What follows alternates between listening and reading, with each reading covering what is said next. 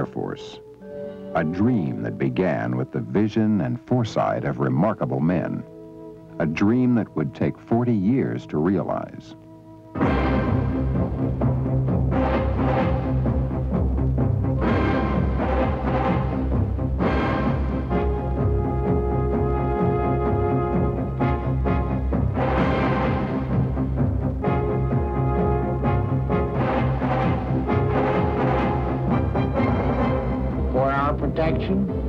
An Air Force second to none.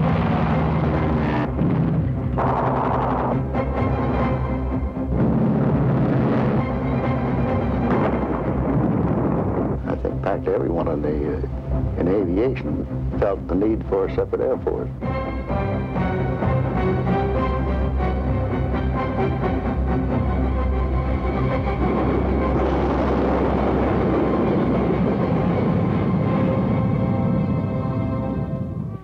35 years ago, September 18, 1947.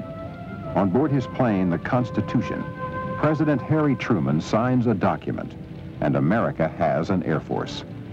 Its first Chief of Staff, General Carl Spaatz.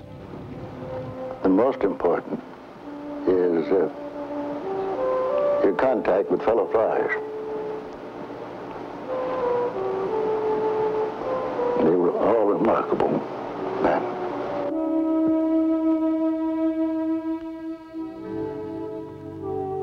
June 1982, some of these remarkable men gathered during graduation week at the Air Command and Staff College, Maxwell Air Force Base, for what was called a walk through history. Air Force Now interviewed some of these pioneers to get their perspective on the parts of Air Force history which they made. Their thoughts take us back through 75 years before there was an Air Force to the very beginnings of military aviation. Some 60 years ago, the world was at war.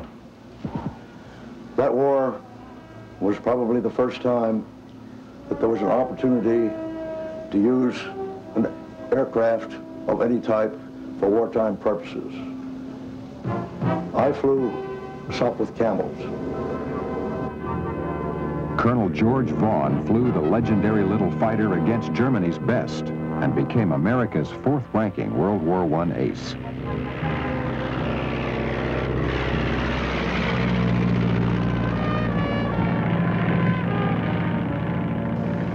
When it was flown properly by a man who knew how to handle it, I don't believe there was a more maneuverable airplane in the war than the Sopwith Camel, except possibly maybe the German uh, Fokker triplane. The airplane. A new dimension is added to the grim business of war. Less than 10 years from the day the Army accepted its first plane. It will take another quarter century before air power reaches maturity, and another war to force the issue.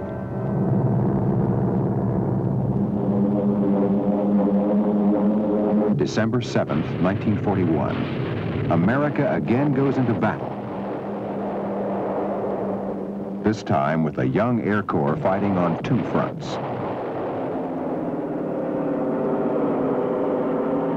The inexperienced crews of the 305th Bomb Group arrive in Scotland from the States. Their commander, Colonel Curtis E. LeMay. I found that uh, bombing accuracy was very poor. As a matter of fact, uh, uh, we didn't know where half the bombs we hauled across the channel fell. And further investigation showed that uh, everyone was taking evasive action on the bombing run. So it was apparent that bombardiers were not having an opportunity to uh, use their equipment and get good results.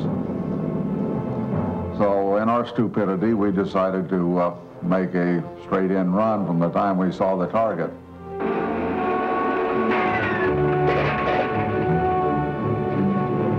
Colonel LeMay leads the first mission using different tactics.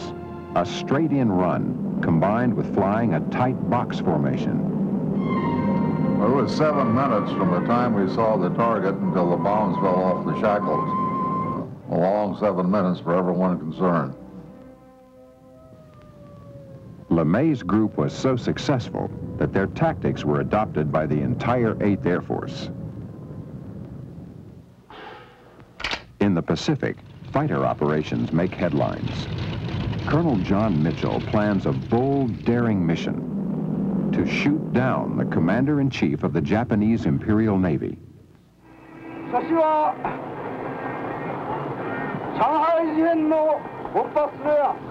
Ground crews modify his P-38s for extended range and performance. We took off from Guadalcanal. I was leading the flight.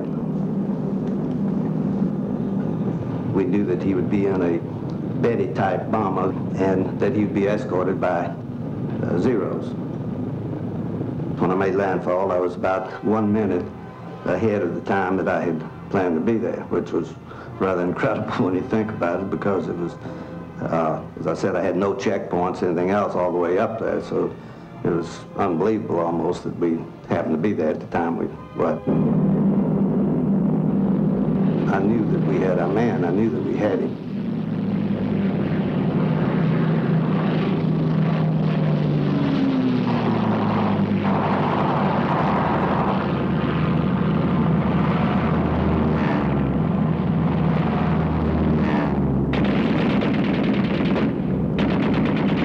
So of course, as soon as this happened, but we got the hell out of there because the mission was accomplished.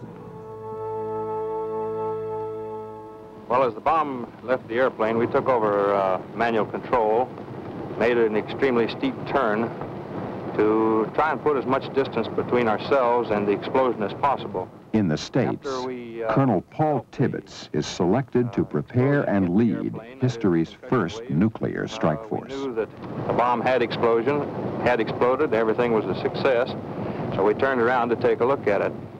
We completed our turn, we came back around, and we saw really nothing. We had in, had in front of us before a perfectly clear and unmistakable Japanese city below us, and now there was nothing but a boiling mass of debris down there, covered by cloud and with this big mushroom effect going up from it. He had named the fateful aircraft Enola Gay after his mother. My mother had been the one person in our family who, when I said I didn't want to be a doctor and I would rather go fly airplanes, she's the one that gave me the necessary encouragement to go ahead. And the old man said, you're going to kill yourself, one of those cool machines. And uh, my mother said, Paul, you go ahead and fly. You're going to be all right.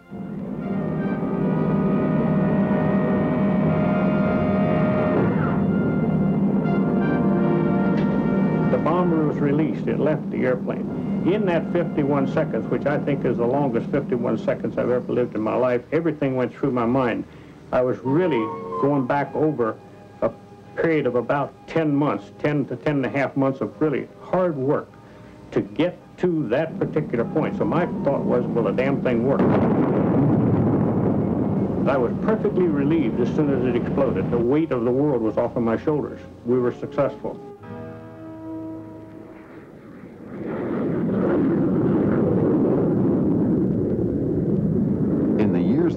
Followed the creation of the Air Force, the research and development projects initiated during and immediately after the war began to bear fruit. General Frank Everest recalls. Many, many scientists and engineers said we will never go through the sound barrier. Obviously, that was immediately crushed by uh, Yeager, the first guy to fly it through the speed of sound. Yeager, of course, checked me out in the X-1, and he had finished uh, taking it up through Mach 1, and I was going to go foul it too. I rode in the cockpit of the B-29 because the B-29 climbed at 180 miles an hour and the stalling speed of the X-1 was 240 indicated. So I waited until I got above 12,000 feet before I came down a ladder and got into the cockpit of the X-1. And on that particular flight, after dropping at 25,000 feet and in a slight climb with four rocket chambers on, I was sitting there looking at about 9.5, 9.6 Mach number indicated when the Mach meter began to fluctuate and went off the scale. And when it went off the scale, all the buffeting stopped on the airplane. It started flying real smooth, and I got back some elevator effectiveness. The most important thing that came out of the whole X-1 program, we found out that we needed a flying tail on the airplane if we were going to operate in the region of the speed of sound. June 22, 1948, the Soviets blockade Berlin.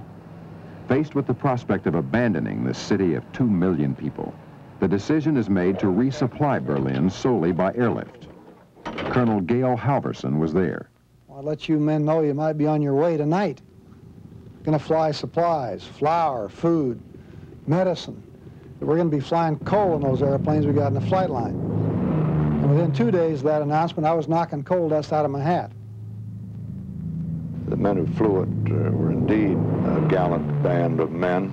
Uh, the people who conceived it certainly had uh, great imaginations. Uh, and sometimes those who flew it thought their imaginations were too good.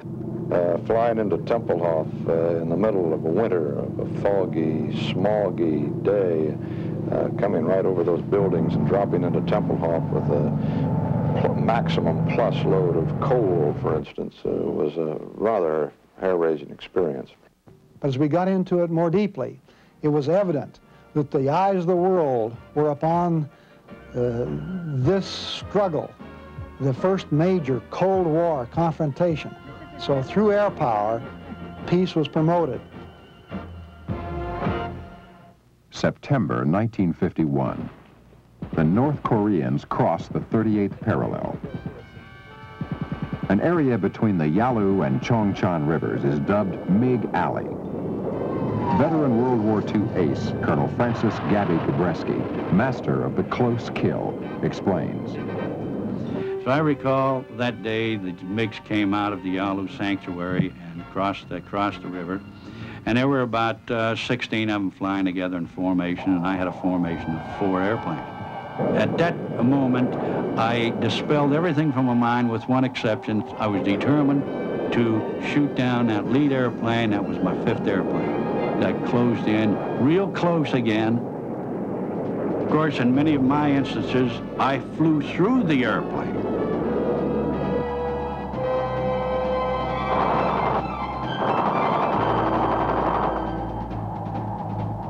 The airplane exploded.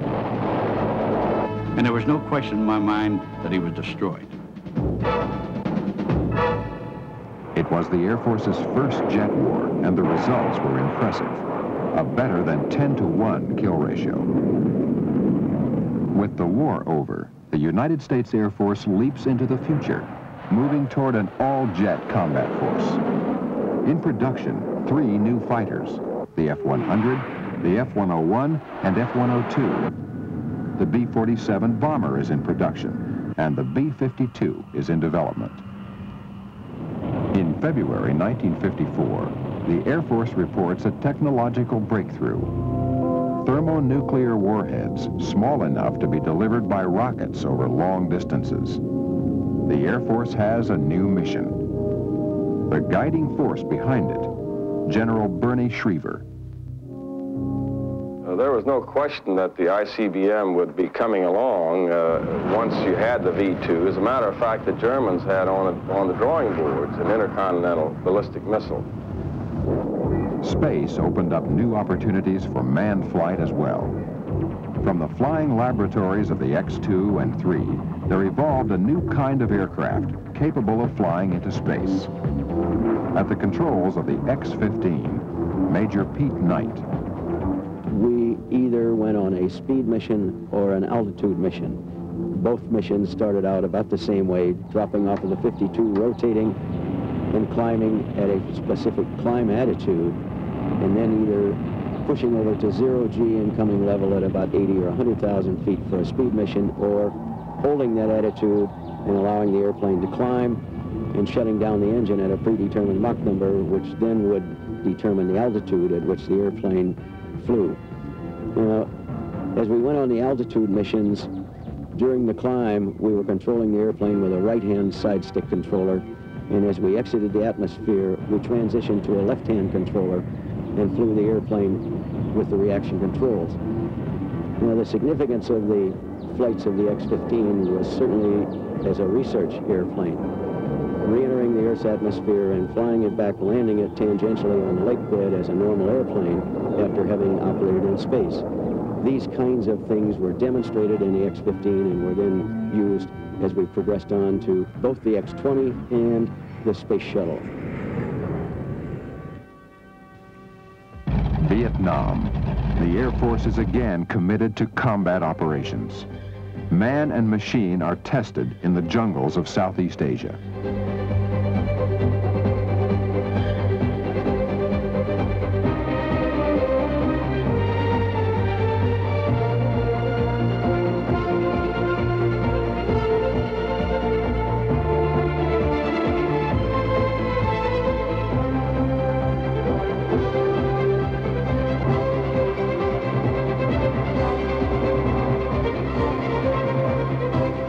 Our most vital efforts, the rescue of our downed air crews, proves a tremendous success. But inevitably, some of our pilots are captured.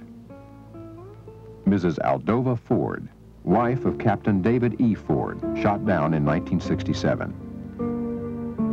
Uh, I first learned of it um, the typical way uh, two Air Force men come out to the house. Uh, was on a Sunday. We just got home from church. And uh, I looked out the window and saw them coming, and I knew then that uh, he was either dead or missing. I wrote him a letter uh, two weeks before he was captured and told him if he did, uh, if he did get captured, to please not try, try not to be a hero because he had a family.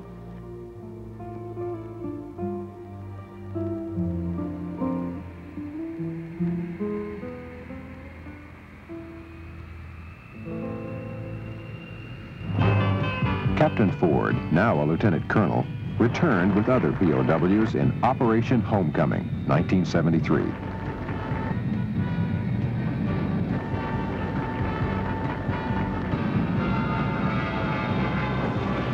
I feel that I walked out walked out to that C-141 in Hanoi with my uh, with my head held high, and I felt about 10 feet tall.